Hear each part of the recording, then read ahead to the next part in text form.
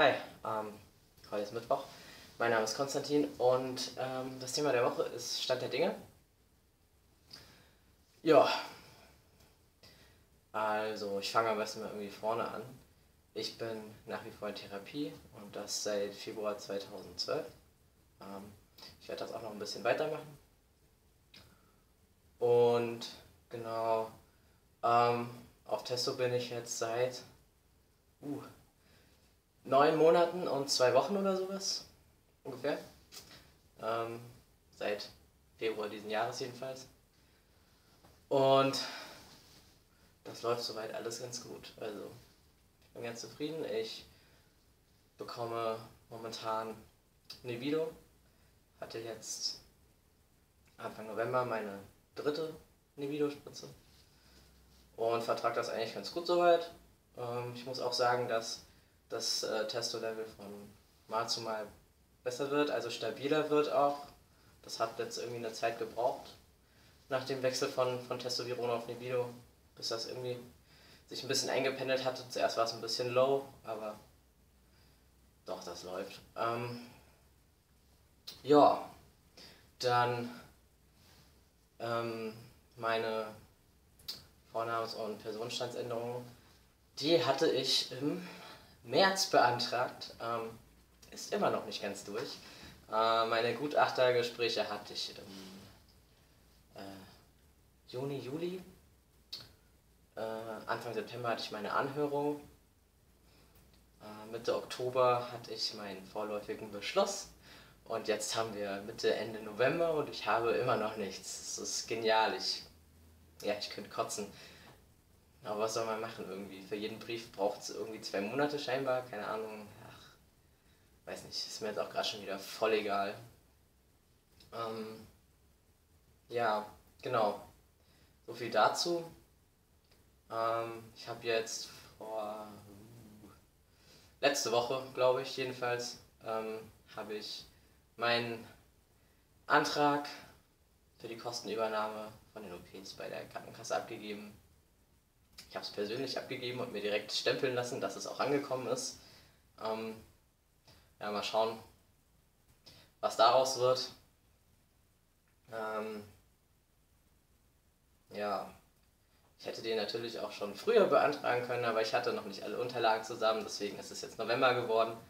Ja, so what. Ich weiß nicht, man macht sich immer so lange Stress, bevor diese Frist abgelaufen ist die man abwarten muss. Und wenn dann diese, wenn man diese Frist passiert hat, dann ist es so ein bisschen. Ja, ich weiß nicht, dann ist irgendwie der Druck erstmal weg und man denkt sich nur noch, ach, so wie alles einfach auf diesem Weg. Es braucht alles immer länger, als man veranschlagt oder irgendwie. Ähm, man hofft immer, dass es schneller geht oder dass es zumindest in, in, in dem Zeitrahmen passiert, der so vorgesehen ist. Und wenn es dann länger dauert, ist es eigentlich auch schon wieder so, pff, ja, ich reg mich überhaupt gar nicht mehr über irgendwas auf. Ich nehme es nur noch hin und ja, komme ich heute nicht, komme ich morgen, so nach dem Motto, weiß ich nicht. Ja, man kann ja doch nichts machen. Ja, was ist noch Stand? Hm.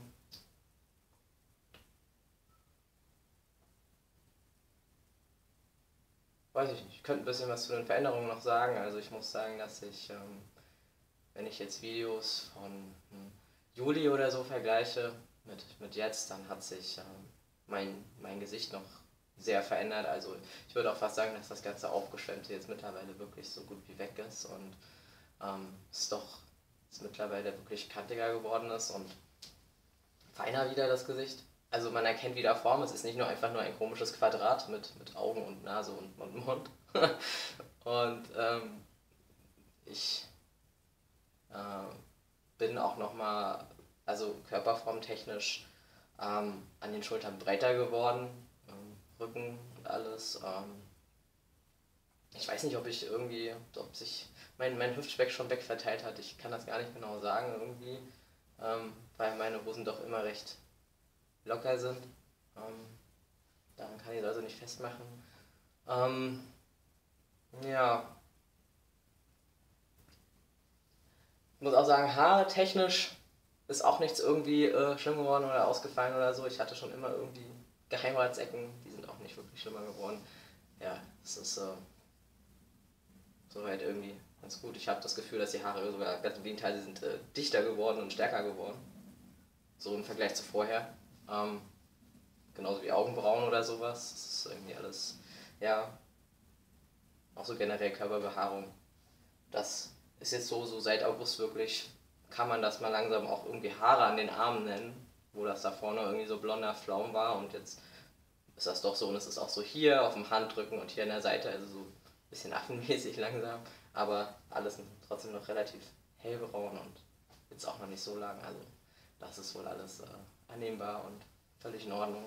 Ähm, ja, Beine sind auch jetzt wirklich komplett irgendwie flauschig, also das hat sich ziemlich lange nur auf die Unterschenkel beschränkt, aber so seit August klettert das hoch.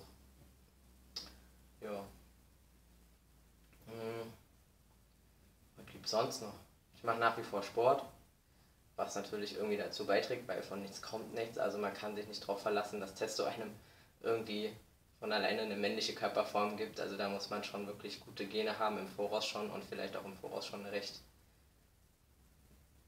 maskuline Figur. Ja, dann hat man da wahrscheinlich, muss man da nicht sonderlich viel zutun, aber wenn das nicht so ist, dann sollte man sich schon bewusst sein, dass Testo nun mal auch nicht so ein Wundermittel ist und äh, ja, wenn man breite Schultern will, dann muss man vielleicht auch die ein oder andere Liegestütze machen oder ähnliches. Ähm, ja. Oh, was mir auch aufgefallen ist, mein Hals ist viel breiter geworden. Also, weiß gar nicht. Das ist, äh, ja. Oh, und wo ich gerade so mache, ich habe äh, einen, mein Adamsapfel, Adamsapfel ist äh, mittlerweile auch echt deutlich zu erkennen irgendwie, sehr sichtbar. Habe ich auch nichts gegen, ist völlig in Ordnung. Ähm, ja, Bartwuchs kann ich auch noch was zu sagen. Ähm, ist eigentlich mittlerweile schön hier so schön lang. Ist jetzt noch nicht super dicht, aber dunkel und also es wird immer mehr. Also man kann das auf jeden Fall Bart nennen und ich komme damit auch äh, super durch. Und wenn ich mir irgendwelche äh, Bio-Männer in meinem Alter oder ein bisschen jünger anschaue, dann ähm, kann ich eigentlich ganz gut mithalten. Ich hoffe, dass das. Aber ich bin ganz zuversichtlich, dass das im nächsten Jahr noch äh, zu einem ordentlichen Vollbart wird. So. Also, doch, doch, das wird schon. Ich hatte mal für sechs Wochen oder so ein bisschen Minox ausprobiert, weil ich extrem ähm, Probleme mit Pickeln und so weiter hatte und ich dachte, dass wenn ich den Bartwuchs ein bisschen ankurbel, dass sich das dann schneller irgendwie so regelt und äh, das war dann tatsächlich auch so. Also, wie gesagt, ich habe es nicht lange gemacht, mir sind auch die Haare nicht wieder ausgefallen oder so weit. Ich habe aber auch generell eine ganz, ganz ähm, geringe Dosis genommen. Also ich habe nur einmal täglich 0,75 Milliliter mir ins Gesicht geschmiert und das ist äh, ja von den empfohlenen zweimal täglich 1 Milliliter nur ein Bruchteil sozusagen. Und das hat auch völlig gereicht. Mein, meine Haut war nicht völlig matsche danach und genau, ich wollte es ja auch nur ein bisschen ankurbeln. Und das hat auf jeden Fall seinen Zweck erstmal erfüllt. Ähm, genau. Also Bartwuchs läuft. Ähm, ja, meine Füße sind ja auch irgendwie. Also ich bin mittlerweile bei von ich bin von 39 auf 40,5, 41. Also musste mir da jetzt echt auf den Winter hin neue Schuhe holen und all das. Äh, das, ist, das geht ganz schön ins Geld, ich muss echt sagen. Also neue Schuhe, neue Klamotten, weil nichts mehr passt irgendwie. Da habe ich irgendwie, da hatte ich nicht so richtig mit gerechnet. Ähm, so, so ein bisschen an Höhe habe ich auch gewonnen zwei, zwei, drei Zentimeter oder so. Vielleicht stehe ich auch ein. Also ich ich bin 26, ich bin natürlich nicht mehr gewachsen, so wie man sich das jetzt denkt, sondern es ist einfach durch diese, durch die äh, vermehrte Knoppelmasse, die dann nochmal zulegt und dass man durch, durch ähm, die, die Muskelmasse, die ja mehr wird, steht man einfach auch aufrechter und ja, das, da gewinnt man einfach mal ein paar Zentimeter locker tatsächlich. Ähm, hat mich auch ganz äh, verwundert. Ähm, genau. Hm. Ja, was gibt's noch? Hm. Weiß gerade gar nicht. Lass mich mal kurz drüber nachdenken.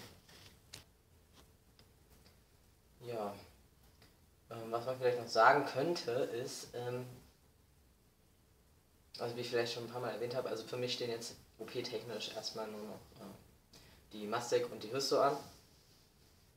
Alles weitere ist irgendwie hat noch Zeit, es ist mir zu komplikationsreich gerade noch und ja, mal schauen, wie weit die sich da noch verbessern. Ansonsten ist das für mich, habe ich da gerade erstmal nicht so viel äh, Dysphoria mit, dass ich in der Richtung unter der Gürtellinie gerade irgendwas machen würde. Hm. Wer weiß, wer weiß, wie das noch kommt, wenn erstmal irgendwie gerade irgendwie das mit der Mastek, wo, wo man ja irgendwie jetzt erstmal noch die, oder ich gerade die meisten Probleme noch irgendwie mit habe. Und wenn das Problem weg ist, vielleicht konzentriere ich mich dann auf neue Probleme, ich weiß es nicht genau. Aber ja, das ist erstmal so der Stand auch. Ähm, ja. Ich weiß gar nicht, was ich noch sagen könnte. Hm. Bin mit meiner Stimme mittlerweile auch wirklich zufrieden. Das ist also, ja, aber da tut sich auch immer noch was. Also das ist immer noch irgendwie, immer mal wieder noch eine halbe Oktave tiefer, wenn ich aufwache oder so. Da ich bin mal noch gespannt, was im nächsten Jahr noch so passiert. Genau. Ich schätze, ich belasse es jetzt einfach mal dabei. Hm.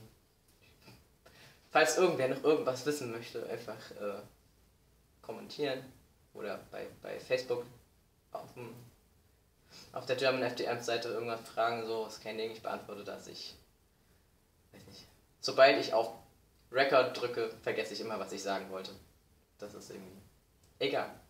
Ähm, dann macht's gut. Bis nächste Woche. Ciao.